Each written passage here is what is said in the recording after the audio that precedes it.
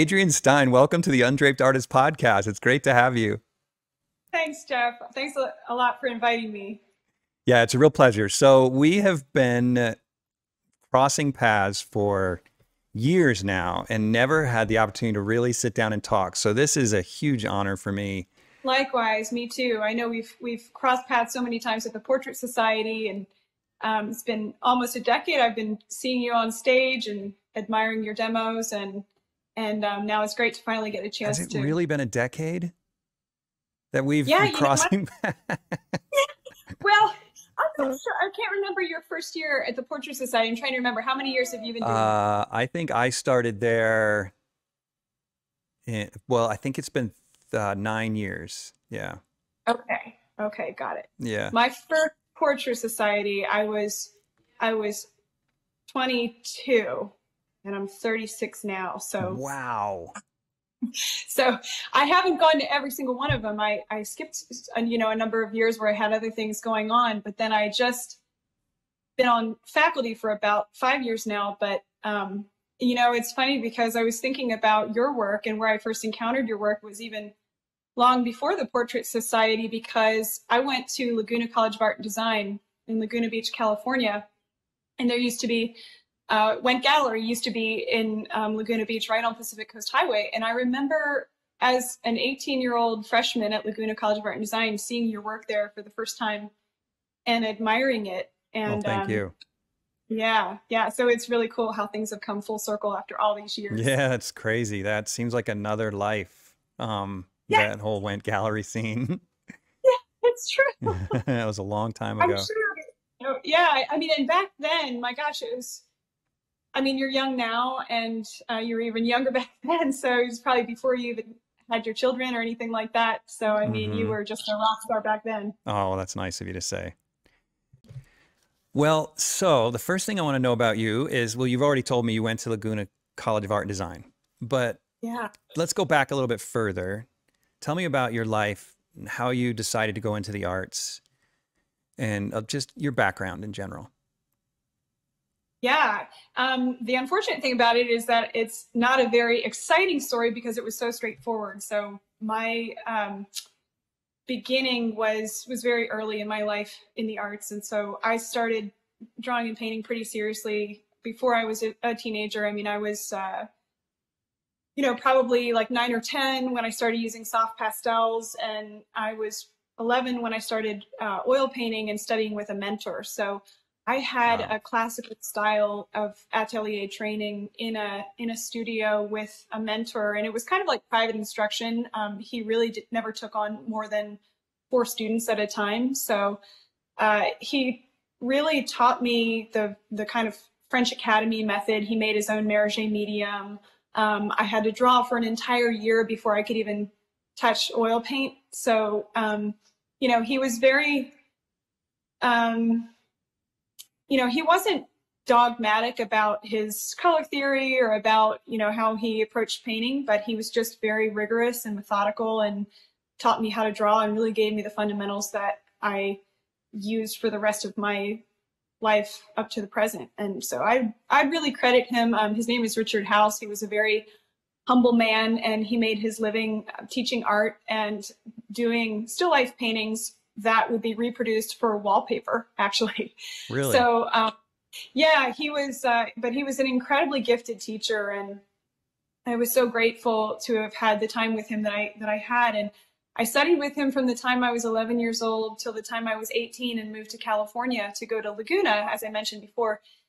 So I had seven years with him, and um, in that time, he taught me so much and I had to do everything that really an atelier trained artist would have to do. So I, you know, did master copies on a regular basis and of course learned to draw and paint from life. Um, did short pose and long term, long pose figure drawings and also um, painting still life from life for a long time before even started the figure. So uh, my training was very classical and I was just fortunate to have that. And so then when I got to Laguna, it was a really great foundation because Laguna, of course, really is like an atelier in that life drawing and uh, drawing and painting from life is such a huge part of the curriculum there. But uh, the narrative aspect is very important too.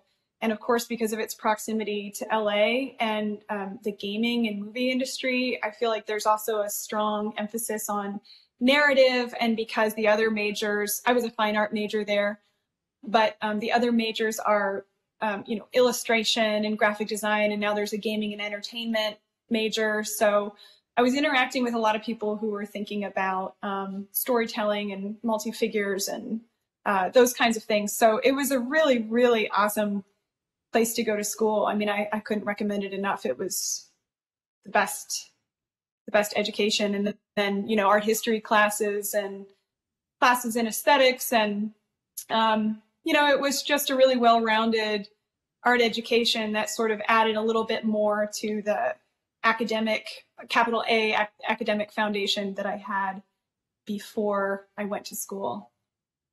Yeah. And then I, I sort of took the circuitous route because I, I then, I, I studied with a number of other people in between, and I, I briefly moved to New York City to study at the Art Students League with Frank Mason, who has since passed away. Um, but he was in his late 80s and he was still teaching, and I really wanted to learn from him. And um, you know, it was like that very classical Art Students League experience where, um, you know, on the third floor with the the skylight, you know, one north light source, kind of a dark studio. It's Rembrandt lighting and uh, all natural light and a long pose. And so, you know, um, Frank Mason was very much inspired by the Dutch masters, and so he had this very dramatic, high contrast, you know, Dutch way of painting. And um, and I love that. Um, but you know, I I ended up then, uh, you know, I was doing a lot of portrait commissions, and I was building up my work, building up my portfolio. Um, you know, I worked with a couple galleries, and then um, in my mid 20s, I moved to Boston to go to Boston University, and that's where I got my master's of fine art. So um, that was a completely, like, complete 180 from what I had been doing because the program was run by an abstract expressionist painter and all of his influences were um, Frank Auerbach, Philip Guston, um, you know, de Kooning, the New York School, all those really really muscly, muscly abstract painters from the 50s. So, hmm. um, and did yeah, you know that going into it? I did, um, and I I willingly signed myself up for it. Um, you know, something kind of uh, masochistic about that, I guess, knowing that I'd be so challenged. And uh, it, it, was it was exactly that. I mean, it was such a paradigm shift because uh, I kind of got made fun of for my heroes. like it was just very funny that you know I I went into that program and people couldn't believe that I liked John Everett Millais and uh, Bouguereau, and they they couldn't believe that I was looking at um, Dean Cornwell and um, that's so bizarre. and like the illustrators, you know, it was it was like, oh my gosh, like you have a poster of Maxfield Parrish on your studio wall. What kind of cornball are you? You know what I mean? Everybody just thought I was very um, you know, that I, I love these antiquated artists and um, illustrators. And so it was it was an interesting kind of culture shock for me. And uh, I, to this day, I mean, it was, I'd say, the hardest years of my life. I'm, you know, artistically at least, it was extremely confusing and discouraging at many times, but I'd still have to say I have no regrets because it was, you know, it was a big challenge to get me to think beyond my my paradigm and the artists that I was looking at, and um, and I really took a lot of it with me uh, moving forward. So, so I was grateful for that experience, and then um, I moved back to Pennsylvania because by then I had lived in a number of exciting big cities, but I was ready for a studio space that was affordable for me and a pace of life that felt sustainable and calm. And um, it's also, I'm, I'm, very close with my family. Uh, my parents live very close to where we currently live, and um, and my siblings lived close by. So having that support of my family close by was really important to me. So I actually moved back to Pennsylvania after I got my MFA from Boston. And where in Pennsylvania and do you live? I live in York, Pennsylvania. So um, my husband Quang Ho and I, who I know you're about to interview uh, mm-hmm. soon, Uh, we live in York, Pennsylvania, which is like south, uh, like southern Pennsylvania, right close to the Maryland border. So, um, oh, so um, it's, it's, southeastern Pennsylvania. Southeast, yeah, okay. right, eastern Pennsylvania. So it's very, um, you know, around us. It's there's a lot of unspoiled rural land around us, and it's really beautiful. Wow. Um, we live really close to Lancaster County, which is a big center of the Amish in the U.S., and it's uh, very it's very conducive to uh, quietude and focus, and just a just a wonderful pace of life that we really enjoy. But um, my family lives five miles down the road from us, and it's extremely helpful because, especially now that we have a 15 month old son, um, it's been really wonderful to have that family support close by too. So, yeah. Um, but, you know, I, I was living in Pennsylvania when I met Quang, and he's from Denver, Colorado.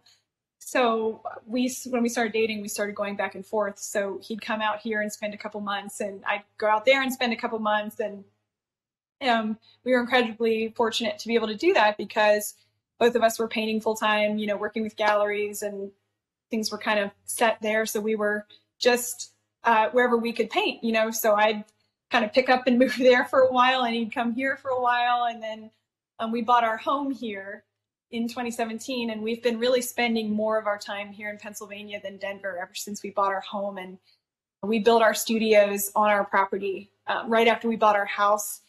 And so our studios are outbuildings on our property. So it's two buildings, plural. Yes. So we have his and her studios. Really? And, uh, yeah. That's smart. Yeah. You guys are wise. Yeah.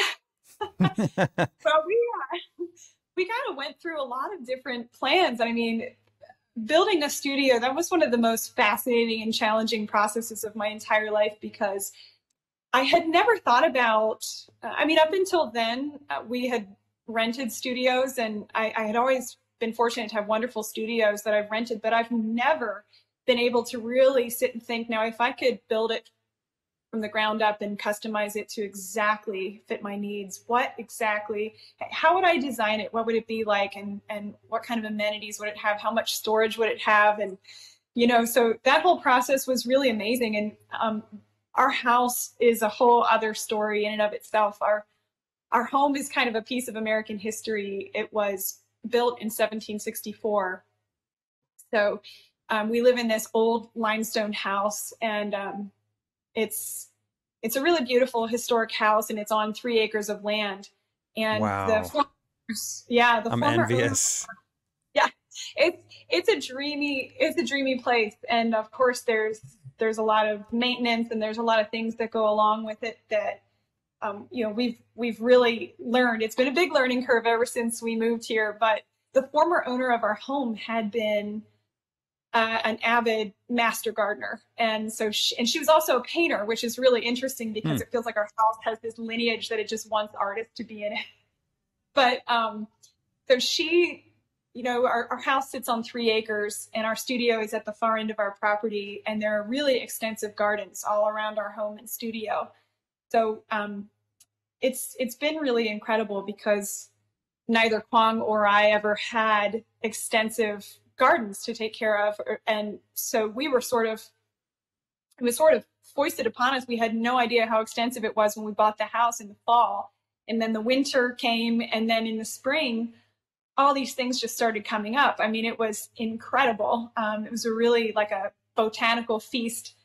And uh, wow. uh, so it, it's really, really beautiful. So we're, we're learning quite a bit about that. And uh, um, it's been an inspiration for us. But you know, we we we built our studios, and we were originally before we bought our house, we were looking at old farms around Pennsylvania. So we looked at um, a bunch of farms that had old barns in particular, and we were there was one house in particular that we we didn't end up getting it, but it was it had this big beautiful barn on the property, and we were sort of planning how we could possibly, um, you know, adapt the barn to have you know a big wall in between and have lofts and sort of you know of course there'd be so much to do to insulate it even though it was in good condition but it ended up working out that we didn't have to um, renovate a pre-existing structure, especially like an old structure like a barn. Um, it ended up working out so much better for us to just design it exactly as we wanted it. And um, so our studios are on, they're, they're two stories each, and our first floor is kind of like gallery space slash guest space. So we, we both have in the first floor of our studio a uh, full bathroom and bedroom in there for guests so that if we have friends or family or other artists, or if we want workshops to host workshops here someday, whatever the case may be. So we have the downstairs as kind of guest space, and then our upstairs is our studio workspace. And um, so we have, you know, our big windows facing true north, and it faces our front yard, which is really planted full of trees and and our, our gardens in front of us. And then across the street, we can see this 22 acre farm that's that's across the road from us. And so so we're Oh, fortunate right now. Every, it's it's pretty great. However, um, our, this is you know about seven miles from where I grew up. So I've watched all of these beautiful farms over the last two decades. You know, I've watched all of these beautiful lands get developed little by little. Mm. You know, and uh, you know houses and condos and apartment buildings and strip malls and stuff get plunked all over these beautiful farms that I remember as a child. And so this is one we kind of live in a part of our county that has been relatively untouched by development and there's all kinds of local politics battles that have been going on for years to to keep our area historic and preserved and all that kind of thing but but anyway it's a really special place and and we really love it so um Wow. it's inspiring to us That's amazing. So, and Quang, being from Denver, when the garden popped up without an irrigation system, he must have passed out. Just that's like- exactly right yeah I think you're a utah resident right So- Mhm. yeah, yeah. so you know. And that's the funniest part about it all. He said, "Oh my gosh, you don't have to water things here. yeah, yeah. So he did. Yeah. It's- you have to you have to keep things at bay because they will, you know, overgrow your entire home if you're not careful. I mean, it's hmm it's very very lush here. Well, I grew up in New York, so I've had it both ways, and then now I live here in Utah in the desert. So, Wow. yeah. Well, that's amazing. Well, I'm really happy for you guys that that worked out. It's Thank really you. amazing. Yeah, yeah, it has been great. We're about to head to Denver um, here in a little about a week. We're going to uh, head out to Denver for the summer, and we we like spending summers out there. And um, we still have a lot of friends and family out there. And uh, Quang's all of his network are out there, and he still has his home and his studio there. So we work out there when we go out for the summer. But um, we just really love it here. Yeah, this is our this is kind of our home. That's great. So, tell me about a little more about your education for your mas your your master's program, and uh, how did that? You said that it changed your way of thinking a little bit. Tell me a little bit about that. How did you evolve in that program? Yeah, that's a it's a really good question. I think for me to look at uh, the abstract expressionist painters and to ha- to be surrounded by a group of people who really prioritize like Joan Mitchell and all these abstract painters who are really using paint in a more muscly and spontaneous way. I think it it allowed me the space to make some paintings that were really unconventional for me and um, I mean, it's interesting because there's a lot of paintings that I made during those two years in that program that I never showed anyone. And that's for a very specific reason because, um, you know, I wanted to give myself permission to uh, make some paintings that maybe were kind of a train wreck. Yeah. And, uh, and, you know, I think to be in a, in a program where making messy paintings is sort of the standard, it, it, helps- it I shouldn't laugh at that. Yeah. That I that's a great quote. In a Yeah, program where making messy paintings is the standard. I love it. Right. I mean, coming from an atelier background where you are, you know, where I would do a grisaille and an underpainting and a very detailed, you know, and sometimes even doing a preparatory drawing and transferring it, not all the time, but where I was so methodical and I had planned it out so much. I mean, there were there were times where, you know, I would just make paintings that I would start with, uh, you know, a simple idea like something that I saw on a storefront window in Boston as I was walking by. And it's really visually interesting. I really like that that flower garland. And then, you know, I would I would paint that in and then think, oh, what is it asking for next? Maybe there's a figure there, or maybe there's a still life underneath it, or you know, or I'd have a dream where I'd sort of see something in my mind's eye and then and then I would paint it and I would find references for it, but I would also work from imagination for a little bit. So it was almost like I was working with a like pastiche of bringing sources together mm-hmm. and um, allowing the paintings to be a little more unfinished, a little more messy, and also, you know, the fact that the abstract expressions paintings, because they're not representing anything, of course, it's all about design. Um, so it really helped me to think in terms of that aspect of my paintings and um, flattening space a little bit, using pattern a little bit more. Um, you know, I think it just busted me out of my French Academy bubble in a way that was really helpful for me and also experimenting with uh, color. One of my best friends in the program, her name is Ana Valdez, and uh, she's a she just she's really wild with color and she her work has a lot of pattern and texture and she's like she would set up still lifes in her studio that would be like you know four different textiles all of which have these wild colors and patterns and she's from northern california and so you know she's used to california foliage and bright mm-hmm. colors and she was an avid gardener too and so she was just always painting plants and flowers and these kind of tropical looking things and then vases that had patterns on them. And i mean i just admired how um, she was not afraid to just put these things together and paint them in flat light. And and uh, so I, I think that was really cool because I just grew up again looking at these academic painters where it's like one, you know, I had just been studying with Frank Mason in New York, where it's one single light source, the shadow is dark, it's this kind of numinous mm-hmm. space, dark background, you know, dramatic figure emerging out of the light. So it was just coming into a different visual world for me, where you know you're looking at like Joan Mitchell's bright, colorful paintings and how explosive the energy is I think for me, it was just like giving myself permission to make paintings that had a, a more um, unpredictable energy and working free associatively. Like I made a lot of paintings that I started out having zero idea where it was going to go.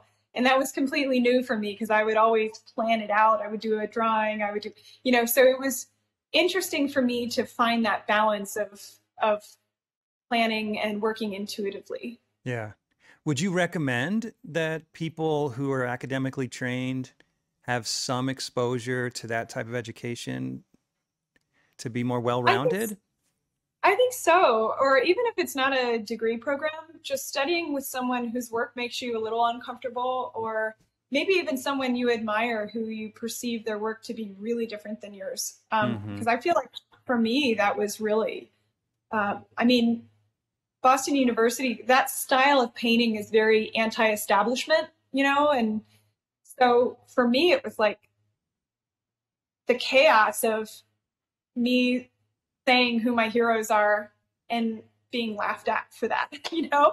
And painful as it was, it was like, oh yeah, I I need that. There's a whole world of artists out there who who feel that way and who, you know, really just feel like the most authentic kind of painting is something totally different than what I have been raised to think about by my mentor. And since I had been painting for such a long time, by the time I, you know what I mean? Like I've been, I had been studying in an atelier since I was 11 and I was 25 when I entered that program. So wow. you think of that, you know, almost 15 years of, of very specific education. And then to have it turned on its head was, I think really good for me. And I know I came away with a lot. And I, I think it's that way with with any kind of with anything in life, really. I think, you know, whether you're having a discussion about um, culture or philosophy or politics or religion and spirituality or whatever, you know, it's just so great to have to be exposed to different viewpoints and people whose paradigm is completely different than yours. And um, yeah, it's just a, it was a gift.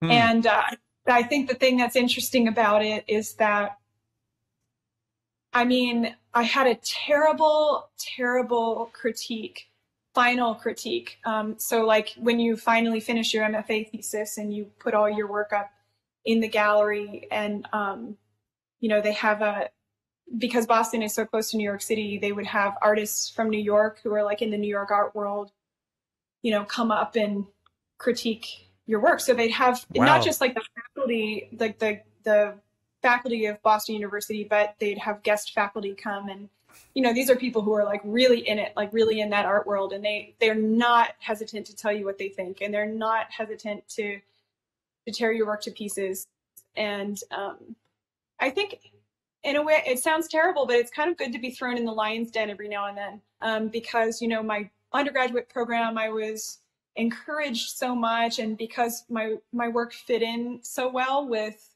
what the pre-existing paradigm was there i i mean i was challenged but i wasn't really really challenged. And i think this was like a time that i was really calling into question everything that i ever believed about art. And and the thing that was so funny was i remember like you know i i spent a couple years saving up before I went to graduate school so that I wouldn't be in debt afterwards. And I just remember my final critique was so terrible and it literally kind of went something like this like, I don't know what to say about your work. I think I'm just going to move on. There's oh. nothing to oh. say because I can't understand why anyone in their why any young woman in her 20s, you know, living in the 21st century would want to paint like a 19th century European man. like what? Oh, you know, there's ouch. there's there's nothing for me to talk about here. These have no place in the modern world.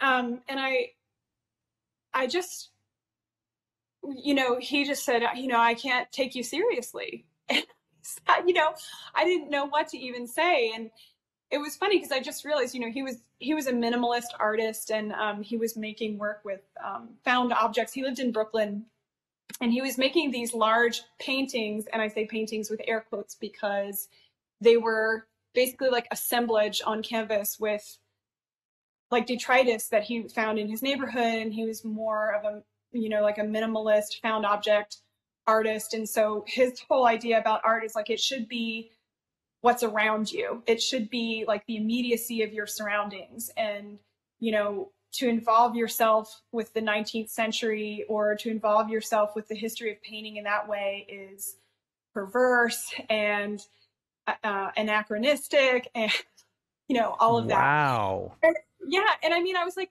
uh, well according to his viewpoint of what his ultimate values about what art is he's right right? I mean he's just telling me exactly what what he thinks about my work. And then I thought, you know, it's funny because that's a lot of what the criticism was about my work is that, you know, I don't feel like this is relatable because it feels like it is standing outside of our time. And for me, I think that was really revealing because it's part of what my goal is in my work is that I, I like that it kind of feels like it doesn't belong to our time or maybe it feels like it's in an ancient time, or maybe it sort of feels like an alternate world, maybe that doesn't even fit with a particular timeline. Um, but it's just my own personal sense of beauty.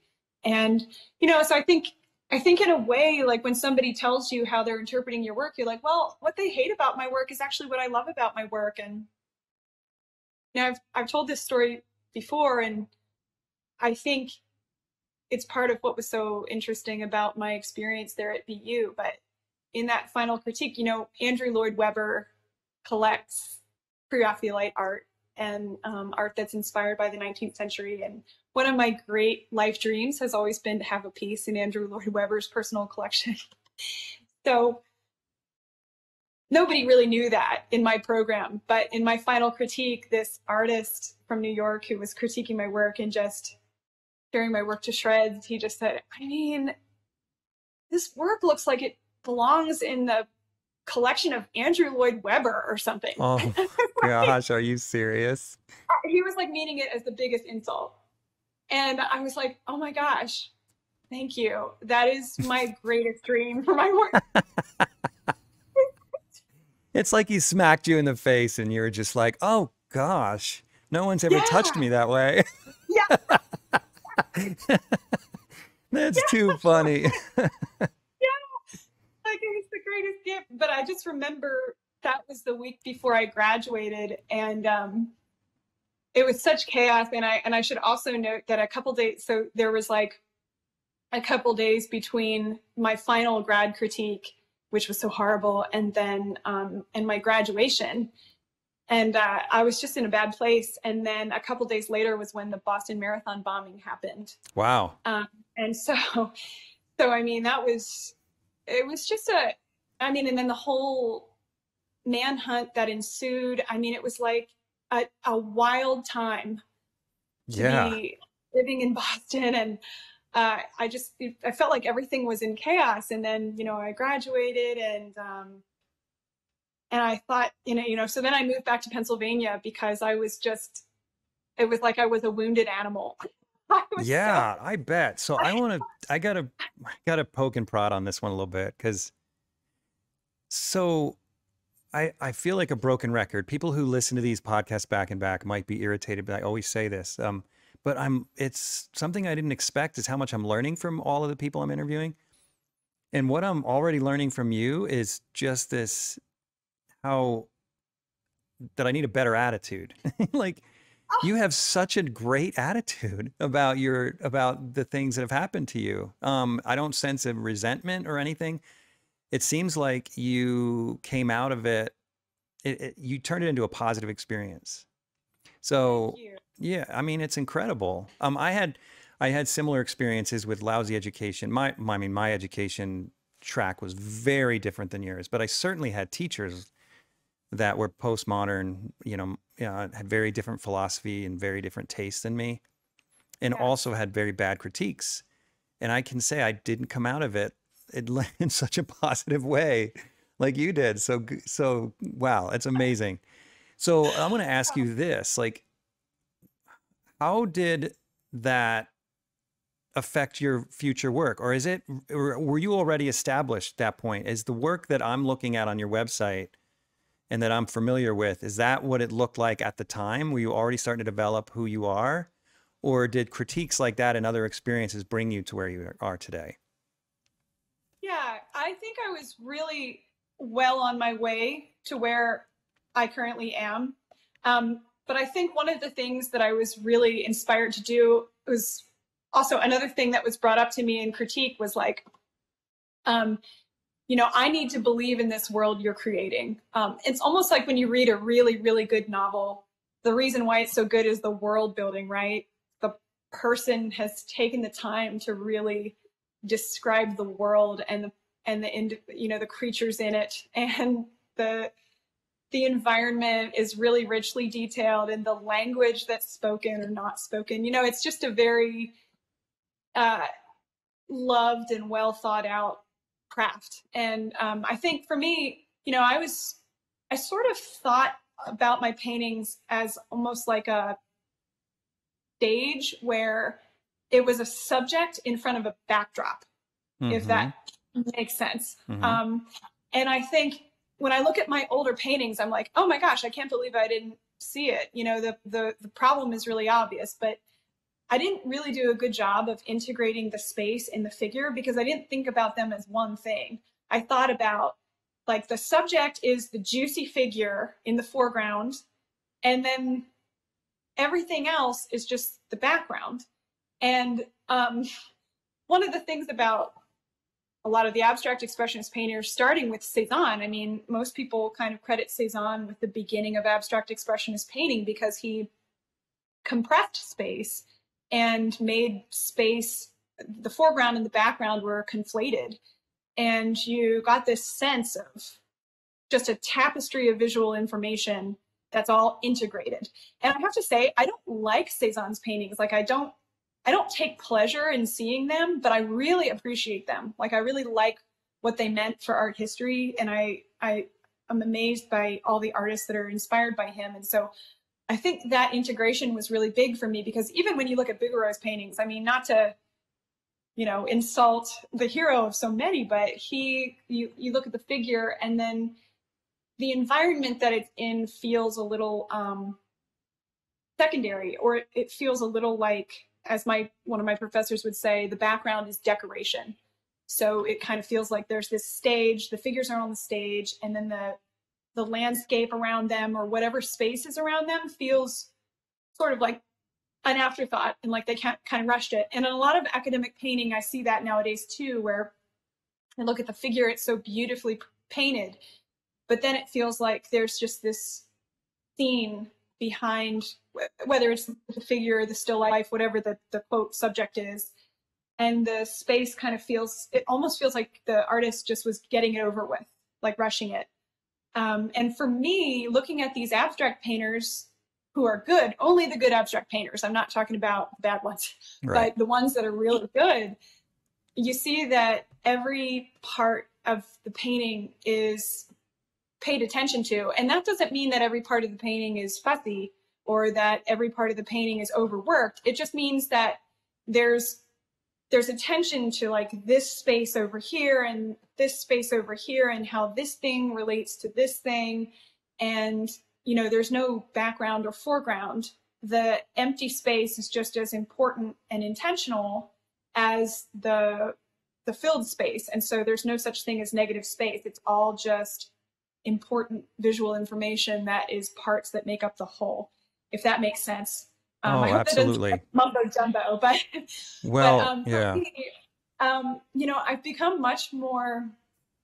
It sounds like a corny word to say loving, but I've become much more loving about the entire painting. I mean, when I do a painting, and I've become, oh my gosh, Jeff, you wouldn't believe how slow I am. I was looking at your website, and I was like, how does this man have a wife and children and make all of these? Pa- you're so prolific. I have Oh no my gosh, idea. I'm not prolific, but that's nice of you to say. No, I'm just older than you. That's all. No, I'm just 10 years older. no, you are incredibly prolific. I was looking at that and thinking, my gosh, it's unbelievable how how deliberate and fast you are. And I just I take so long on my paintings now. And I know it sounds funny because you might think as an artist, as you get older, you'd think, well, you get better at this thing, you get more confident, you blow through your paintings faster. But for me, I just, I've really slowed down. And in the last few years, you know, I put out so, so many fewer, so, so few paintings a year because I just don't want to let a painting out that feels like it's not a hundred percent treated with care. Yeah. Um, and you know, and it's almost like I get to a point where I say to myself, I could be done now. And I think there are a lot of artists who would look at this and say, You're done, move on. Um, you know, but like, this area here could be so much more beautiful, or like this passage here. There was a painting that I recently did, and I had a deadline on it, and there's a big figure in the front, and there's a floral element, and uh, on the left hand side was like this passage of the painting that I intended to sort of be just a vague sky area. But when I finished the rest of the painting, like I spent so much time and love on the rest of the painting. And I just planned to finish it then. I, I looked at it and that area there was, I was like, I, just said to myself, you know, that is the one part of this painting that doesn't feel like it belongs to the rest of the painting. It feels really uncared for. It kind of feels like I just cared about everything else and then rushed this. Mm-hmm. And that's what's going to stand out. You know, when people look at this painting, it's like, what, what, did you lose interest there or something? And so I spent another couple days painting a landscape back there that was detailed and uh, had like really deep space. And when it was done, my gosh, I loved it. I was so happy. With oh, good. Painting. I felt like it was it was worth that extra couple of days and it actually put me past the deadline and I begged for extra time and but it was just one of those things where I I was so glad that I spent the extra time to really care for the whole painting because it just showed and it and it took it from you know a work that was you know pretty good to being a work that is really one of my best. And I think, you know, really that to me, even though my works are so far from abstract expressionism and and but it's like that philosophy of of paying attention to every space in the painting and really thinking about the design and um, I often also start my paintings with a particular design in mind. Like I, uh, it'll often be like, okay, well, I want it to be like a serpentine shape. So I want the, you know, like all the yellows to flow in this direction, or I want, I want all of the light to kind of really be here. And then nothing else will be as light as that. So that really this pattern of light can move through the painting in this way or that way. So really just like learning how to move your eye through a painting and Wait, so let me stop you there for a sec. So are you saying that you sometimes work out these patterns of light, dark, and color before you even know what your subject is? Sometimes. Really? Yeah. Yeah. Like right now, I have a big painting on my easel, and I had I had done um, two small abstract paintings and the painting on my easel is based on one of these abstract paintings that I did. So Really? That's yeah, great. Yeah. So it it it's kind of funny. I mean, I guess it I guess the abstract expressionism made its way into my life more than I even indicated. But yes, um, there's these paintings also th- these two abstract paintings I did um, they're going to become floral paintings ultimately, but I worked out the palette and the design. So one has a lot more like reds and greens, and the other one has blue and purples and greens, but it's like the the chroma, the the way the darks and lights are structured in it. Um, I worked that stuff out in advance, so that kind of helps. And one of the transformative shows that I saw was a couple years ago. I went to go see this Edwin Dickinson show at. Uh, it was a small show. I mean, he didn't. I don't think he was that prolific. He didn't paint a whole lot of work, but it was a small show of his at the Philadelphia Museum of Art, and those paintings they were multi-figure paintings, but they were so abstract. It was like it was almost like he made a collage with black and white, mm-hmm. and then just put the figures and the environment into it. Really? So yeah, you just got this sense when you're standing back, they almost look like Robert Motherwell paintings, like the black and white pattern and how graphic they were. But then were they monochromatic? You know, yeah, very monochromatic. Um, they were kind of like all in this grayscale plus a little bit of blue and flesh. So they didn't really have a ton of color. They were really there were just a lot of dark blacks mm-hmm. and kind of white whites.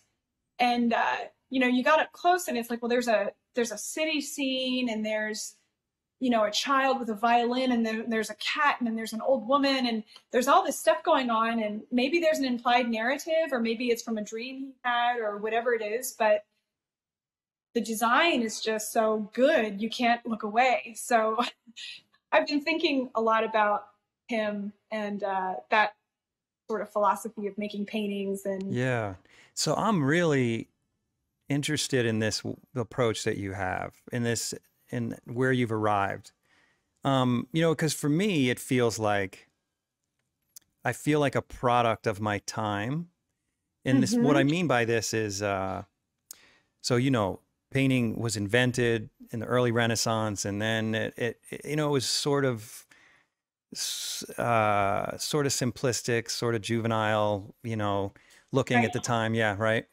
And then it got more and mm-hmm. more advanced. By the time they're in the 17th century, people are really designing these great canvases, these large multi-figure canvases with these unbelievable, you know, designs. Right. But they also had the academic drawing skills. I mean, at this point, they've already mastered perspective, they'd mastered figure drawing and painting. So now it's like they're getting into some really hard stuff, right? In the 19th right. century, it just explodes because they have the camera. But then right. it all dies, and everyone's a modernist for the 20th right. century.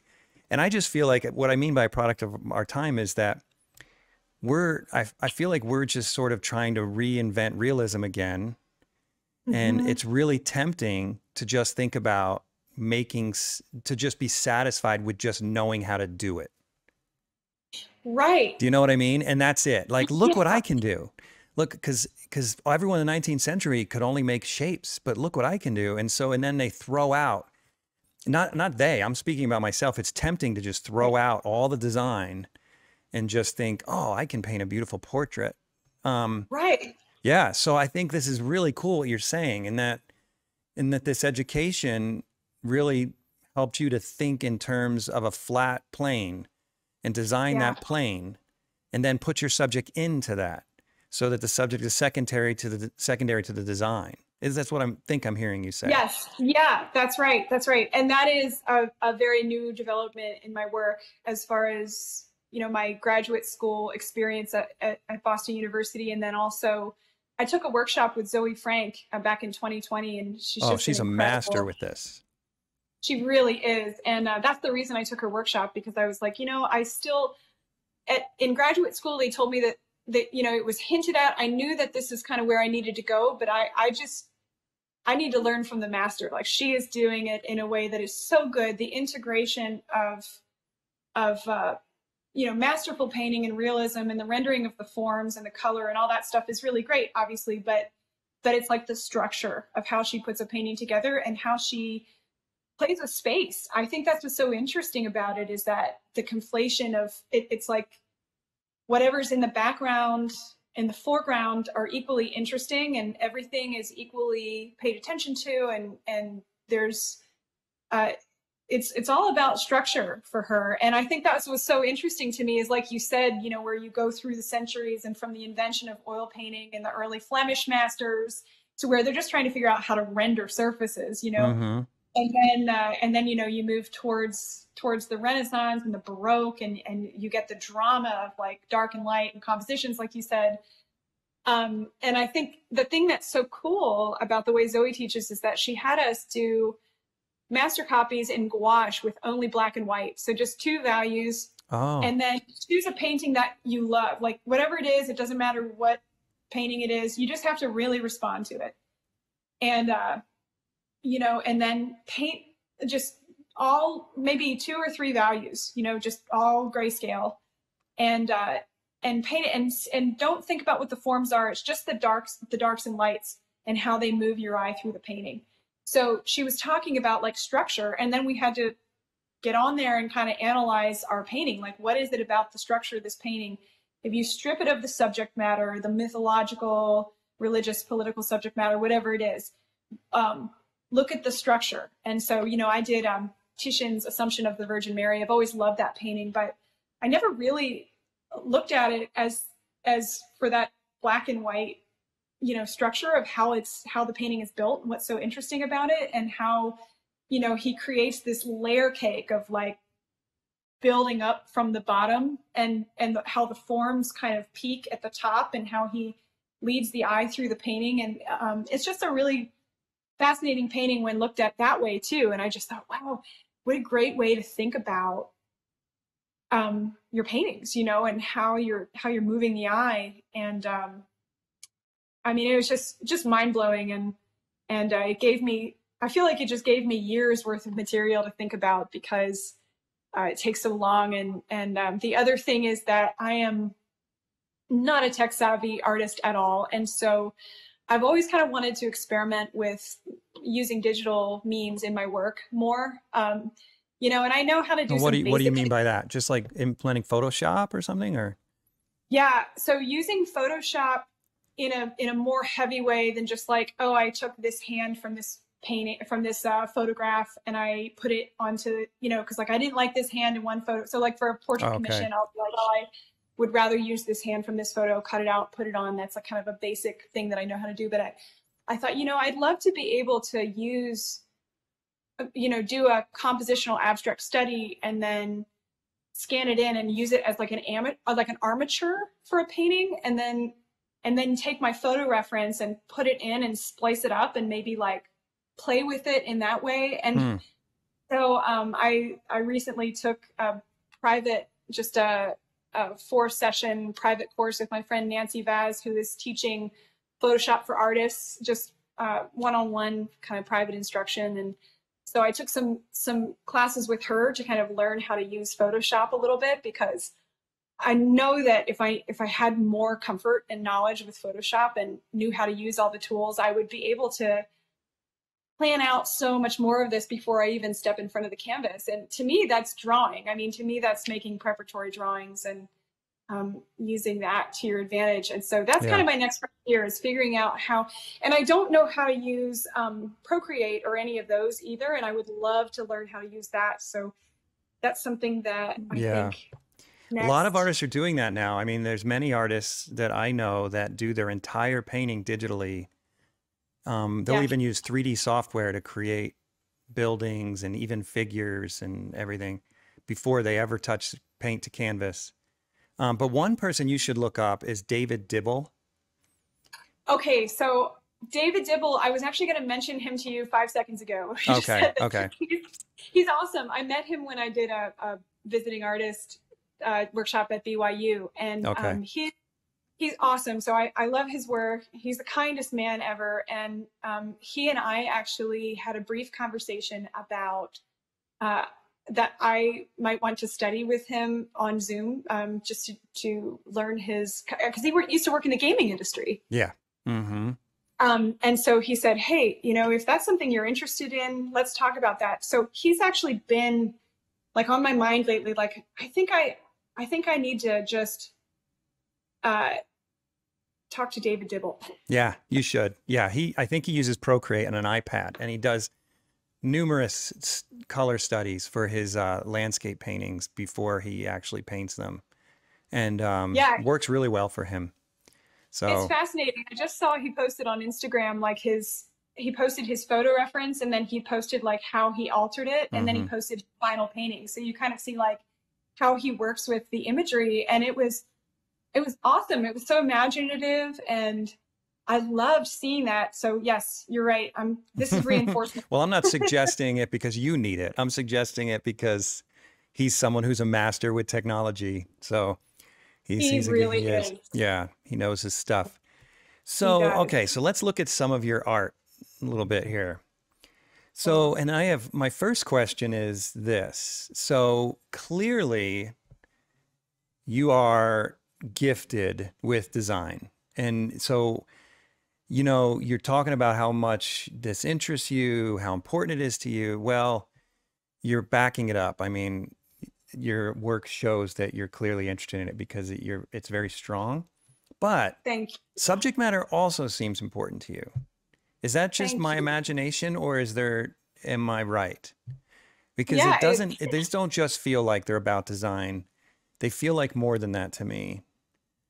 Thank you. Yeah, I so appreciate that. Thank you so much. Um, it is, yeah, I mean, it's, it's obviously the design and the, the mood that you want to evoke. I think sometimes for me, it's, uh, you know, I, I'm noticing that, um, I mean, I, I recently redesigned my website, and I think for me, the thing that was so instructive about that was that I was trying to decide whether or not to divide my website by genre.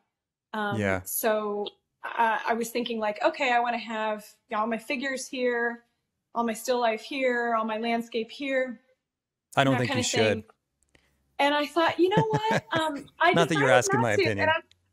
I'm glad you reinforced that because, um, you know, I've been kind of kicking it back and forth, but I actually, the thing that I like so much about um, the, the, the kind of genreless website is that for me, I, I try to perceive my work like that actually is I, I, I'm trying hard to perceive it beyond genre.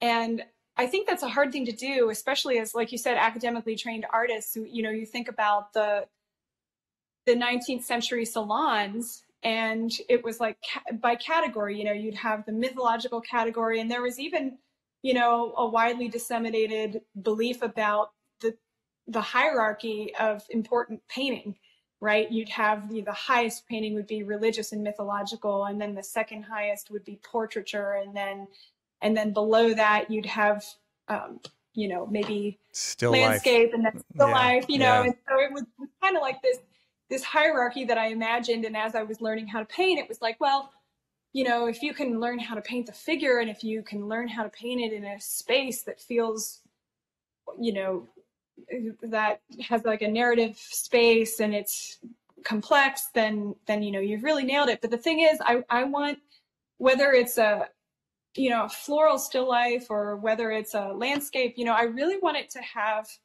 It, it's kind of about the mood that I'm trying to evoke, and I and I was looking around my studio at all my paintings that I, ha- I have a whole bunch of studies just all over my my studio wall right now, and and they're uh, figure studies, and they're also landscapes, and and just a little bit of everything. And you know, I I held up one painting to another painting, and the, both of these paintings were sort of in this blue palette that I intentionally pushed the palette towards blue, and I was like, oh, you know. I'm realizing that it's not about this particular landscape. I mean, it is. That's the kind of the initial jumping off point for me, but it's really about like the mood that I'm trying to evoke and like this specific time of day and this specific season and and so um, for me is kind of kind of like that where I want I want uh, you know my florals and uh, everything to just kind of feel like it's part of the same um, colorful abundant earth so yeah well here's the thing here's my perspective on it mm-hmm. in that there are painters that paint figure, landscape, still life. And then there are painters. like you yeah, I don't you. see your stuff as different. I don't see them as different subjects because you have such a distinct color palette and a distinct sensibility that they don't seem like they need to be categorized. They all fit into the same category. Um, now, if Thank I were to you. paint landscape and then figure, it might need to be separated because I don't mm-hmm. have this mm-hmm. distinct of uh, sensibility. I don't think, but and yeah, I mean, it's they definitely belong together. I don't see them as different. So I pulled up this one here, and I have a question about it. But I have a question about all of your work. But this thing is unbelievable. Another Thank thing, so another thing that's been driving me crazy about this podcast is like I wish I could buy the stuff I'm looking at. I mean, I'm sure I'm sure this is sold. It's so beautiful. Um, yes, it is you. private collection. That sucker. Can I get their address? I so I can go get that painting. well, we need to work out a trade someday. That Maybe would be amazing. Let's do that. Um, so here's my question. It's and it's personal. Um, yeah but the trick that I find, the, the difficulty I find in painting with lots of color is making a painting too busy or too garish. Mm-hmm. You know, mm-hmm. and you don't do that. Yeah. And you have more oh, color. You. you have more color than any painter I know.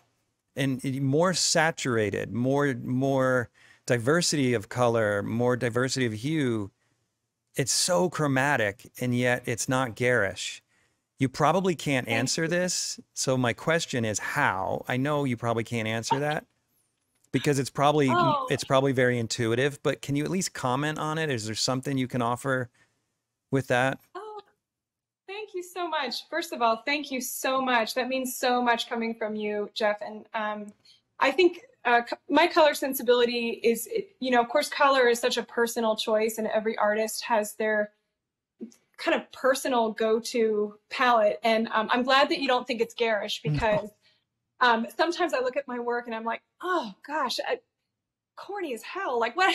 No. like I don't know how. Um, you know, sometimes I'm like, oh, it's so over the top, and maybe I should rein it in, you know, here or there. But um, I just, I really do love um, luscious color, and I think a big part of it, honestly, is um, my mom is an interior designer and she's she's also painting now and she's doing abstract paintings and she has an incredible eye for color and texture and design and i think just watching her from the time i was a child i mean obviously i had been painting classically since i was a child and um, uh, my mom was i mean my mom is such a great designer. So to see her choose um, colors to put together and see the kind of vision that she would have for like she, she would just make really really bold choices in a room that i would never have thought of. And then to see them together i thought wow you know that's that's really incredible. And even like scale like the way she'll um, choose textiles to go in a room and what she would choose for the couch versus what she would choose for the the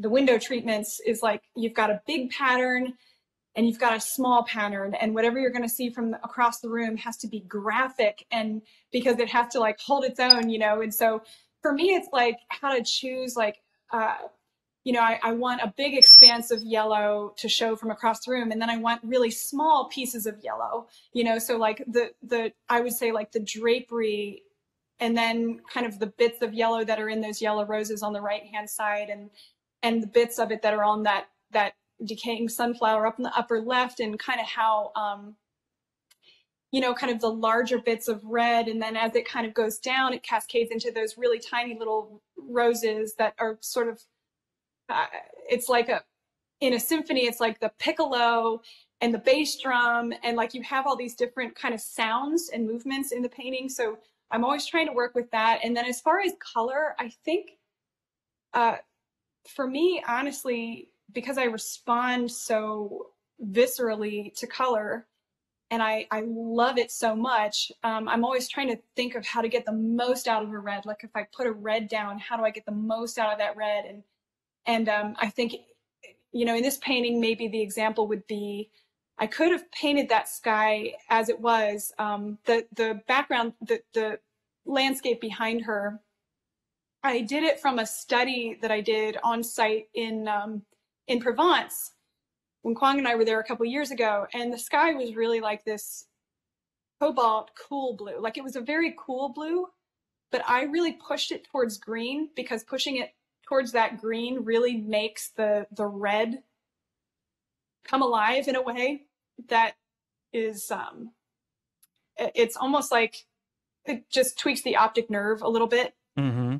And um so I think in a way, it's not so much the colors I'm using, but it's like intentional choices of how to juxtapose them, if that makes sense. Yeah.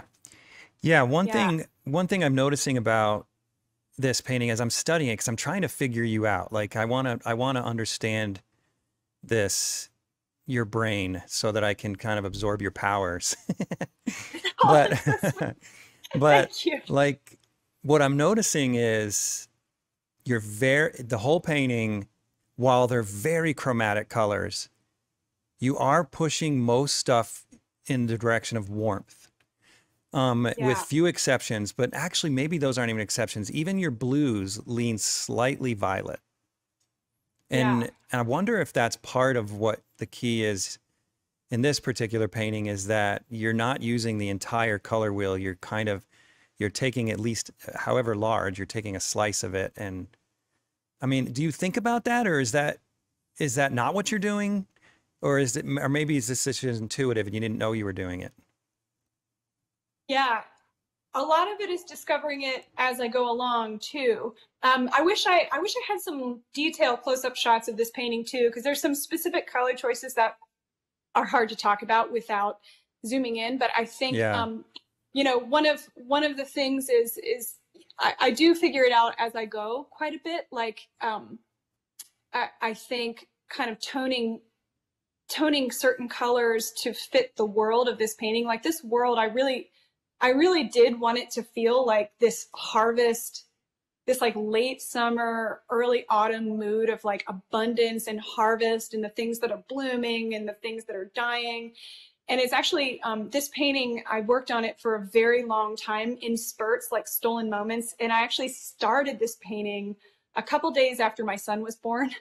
So we came home from the hospital and sorry to like interject personal stuff because you asked about technical stuff. But anyway, No, I want to hear I about it. I had this. Uh, I'd been wanting to do this this sort of abundant painting, and it is. I mean, it was just a very abundant time of my life, and I wanted to paint about what that mood was like. You and mean I being do have- newly married, having a child, a new home? Yes. Yeah, Yes. that's awesome. All of all of those things that were kind of happening in my life. So it's just like this um, sort of overflow of gratitude, and how do I how do I put that in painting form? Just how how I would interpret that, and um, and really like not just the subject, but the the the overall atmosphere of of the painting, and and you know I want the painting itself to feel like a gift that I'm offering too. Like I want there to be a lot to look at, and I want it to be for the viewer, a, you know, a lot of really wonderful things to see that um, th- that not just like upon a cursory glance, which obviously on the internet is is the way most people are seeing it. But um, I just wanted it to be something that just offers more and more to look at. That when not just from across a room, but as you get closer and closer, it invites you to keep getting closer. Oh yeah, it does. Even in this scale. I mean, all the little flies and the beetle on the tree and the the moth up here. And it's just there's so much to look at. That little dragonfly, not just the bugs, of course, but even just every flower. I keep going back to this upside down. I guess that's a sunflower. Sunflower. Yeah. Yeah. And it's just what a great choice to turn that upside down. It makes it so much more interesting. But the predictable thing would have been to have another sunflower. Like everyone knows what the front of a sunflower looks like. So why not paint the front of a sunflower? No, you turn it upside down and it makes it much more interesting. Um, yeah, there's a lot to look at here. And I hope the client knows what they have because this is um, not only is it beautiful, but when it represents such an abundant time in your life, they probably don't know how significant this painting is. To them, it's just beautiful and it makes me want it even more. Dang it. Um, I love it. Thank you. yeah. Well, this painting had a very special, um, had kind of a special debut because it was um, Art Renewal Center has a an ongoing relationship with Sotheby's auction house in New York City, and Oh. so um, without going too much, Kara Ross uh, is sort of she was hand selecting uh, a couple artists to be a part of the contemporary art auction uh, in Sotheby's in New York City because um, their the goal of Art Renewal Center, of course, is to um, bring contemporary realism into the mainstream contemporary art world, so that we're not kind of this enclave over here of of artists working in this specific tradition, but really that we're part of the the ongoing conversation of contemporary realism. So um, I think uh, it's just really, really awesome. You know, their mission is really great. But I I was honored that she she invited. Um, six, seven artists, I believe, internationally to be a part of this auction. So, Wow, so what an it honor. did. It, it was a wonderful, it was a wonderful honor to be invited, and um, so it did sell at the Sotheby's auction, which is a really, a really cool thing. And um, and it was nice to also have a deadline because, as you know, uh, with your with your own family, you're always balancing hmm um, you know, life life as a dad. Um, and so for me, uh, you know, it's been it's been really wonderful. Um, you know, obviously, it's beyond what anyone could articulate. Right, becoming a, a parent is just the greatest blessing and the greatest gift and the most transformative thing that can happen in your life. But um, it, it it was it was definitely an adjustment, and you know, without going into it too much, my son is now a toddler. So it's a different season because when he was an infant and he slept so much more and I just had him in my studio with me all the time and I was I had him in his little carrier while I was standing at the easel or he'd be sleeping or he'd be in his little bouncy seat or he'd be in his playpen or whatever the case may be and now he wants to get at everything. You know, he mm-hmm. wants to open every cabinet. He wants to open every drawer. He wants to dump over every trash can and s- sort through all the contents. He wants to put his finger in every socket, you know, electrical socket.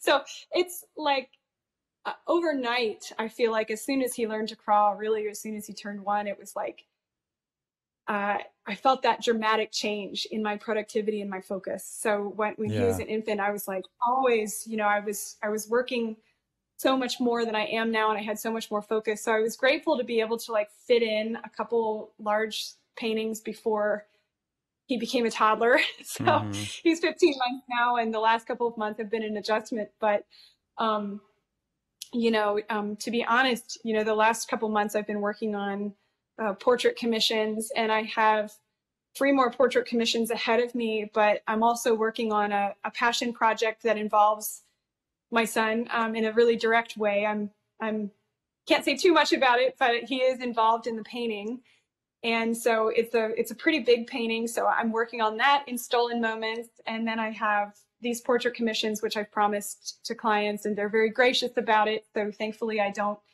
There's not a huge rush there, but then there's another show that I'm preparing for in October, um, and I'm doing these big floral paintings for it. So I always have like a number of things on the easel and um, I mean, it's just been the most uh, fascinating year of awakening ever.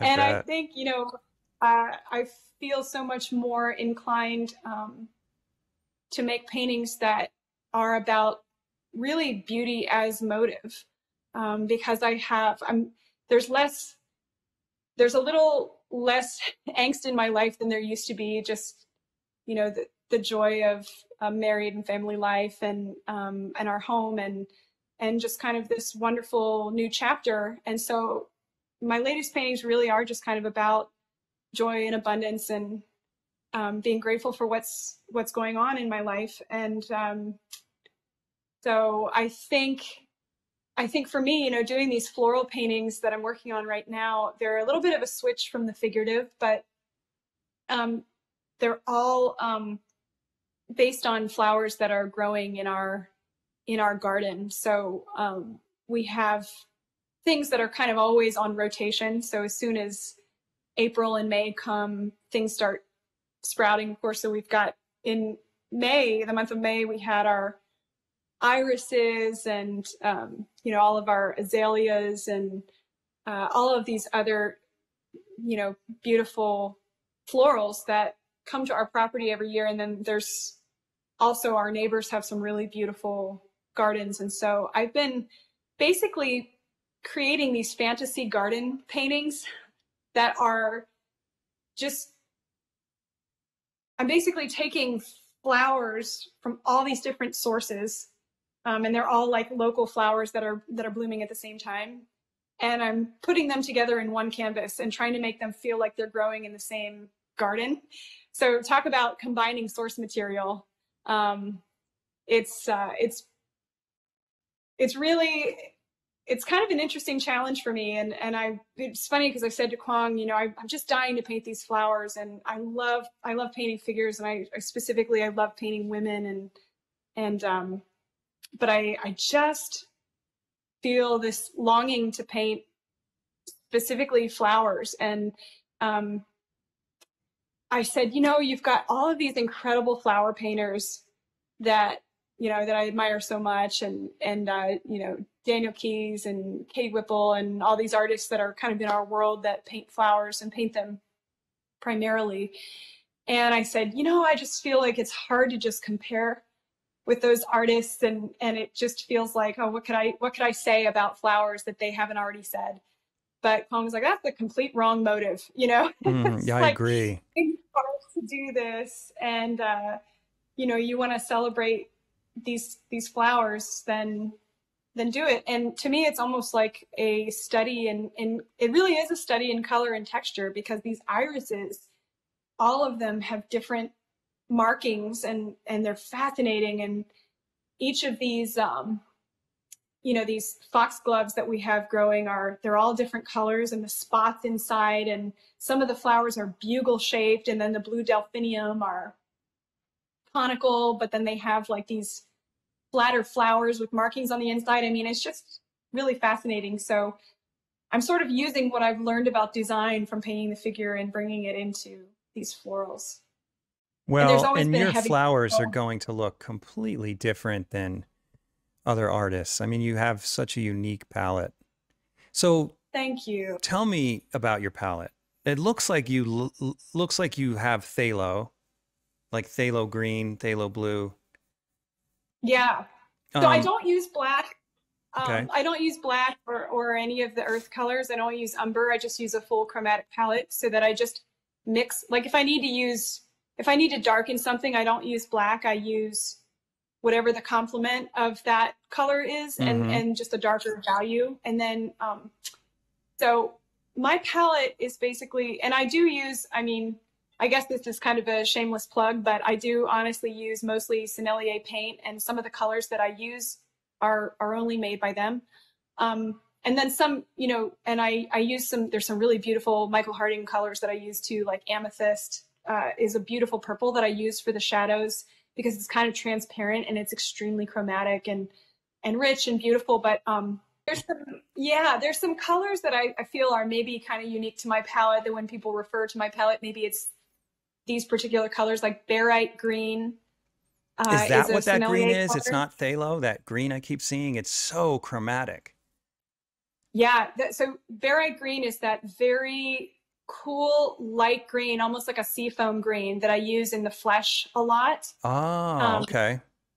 Yeah, and and uh, yeah, like so a lot of these paintings, um, and some of these paintings, it's funny. I'm looking back at these old paintings. I mean, these are from like 2014, 2015, Let me and go a lot back of to these. your. Oh, go ahead. Oh no, I was just gonna say, um, a lot of these I've worked back into. like some of these don't really look that much like that anymore because I worked back into them. But you can see my older work is not quite as chromatic as the newer work, so I've been figuring out color um, gradually. But um, Yeah, that and I I love the chroma of your new work. Thank, thank you so much. Um, using uh, just kind of straight colors too. Like I don't really, I don't really overmix. Like I never really mix more than two colors together. Um, I use a lot. Like for for this one, actually, in the highlight is lead tin yellow, lead tin yellow light by Michael Harding, and it's almost like uh, if you took neon yellow and mixed it with white. Like it's an extremely cool chromatic white. And I'm very sensitive to those temperature shifts. So I'm very interested in your palette. Some I'm gonna send you an email. Would you mind sending me some of these colors? Yeah, yeah I'd love. yeah, I'm very course, um, because- interested because my palette is very chromatic as well. And Yeah. I'm always I don't I also don't use earth tones. I like just pure chroma. Um, yeah. But I you're me too. talking about colors I've never even heard of. So I'm interested Oh, in trying wow. some of them. Yeah. Good. I, I'm so glad to have told you something that that you may not have known. That's so cool. I the the barite green is really great, and uh, so is um, permanent green by Sennelier. Is that green this? Is that the barite green on this painting? Evelyn Nesbit? Yes. Okay. Yes. hmm So it's Yeah, it's either. beautiful. I think- Thank you. I'm pretty sure that's permanent green, and then I use barite green in a lot of the transitional, kind of like that liminal space between the shadow and the light, where it goes. The flesh goes a little grayer. Mm-hmm. Um, so for this for this painting, for example, yeah, Back I mean, I, back up. Okay. yeah, I'm using mostly Sennelier colors. So there are phthalos in the in the back, and then you know, like in the like those those white hollyhocks in the areas where there's blue. There's like King's blue, which is made by Sennelier, and then you know I mix a little bit of you know cad yellow into it to kind of make it warmer in those areas, and then um, permanent green light is what I use for the highlights on those buds. So there's you know that's a really like tennis ball green almost you know and Mm-hmm. and i mixed it with a little cad yellow to warm it up a little bit so to me it's just like cooking um you're adding a little bit of this a little bit of that and you're tasting it and as you go along you kind of just decide um, what you need and and kind of deciding like for example as you know that that painting that we're looking at right now the hollyhocks So this is called Denver Hollyhocks for those listening.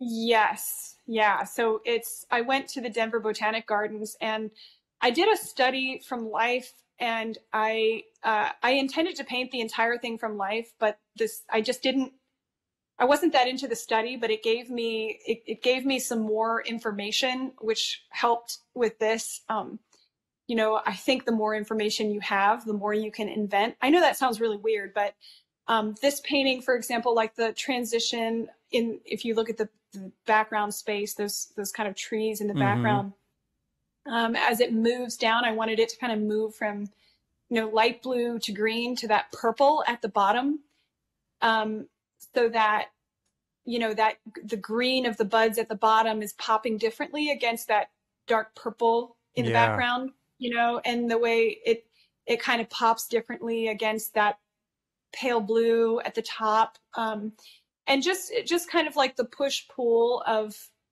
uh light against dark dark against light and um uh, so and and Hmm. i started this painting with a palette knife. That's another thing that's kind of important is is often when i start a painting um i'll start with a palette knife and also the figurative piece demeter the piece that we were just talking about before with the yellow. Um, i painted that i blocked the whole thing in with a palette knife. And I feel like that's an important thing to mention because it just makes you so much more decisive about color.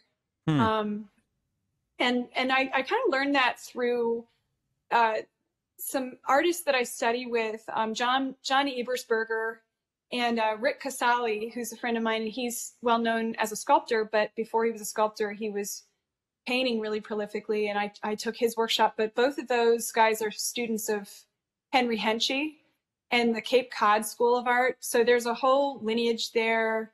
Um, uh, so it's you know the whole philosophy behind it is full chromatic palette, painting out in full sunlight.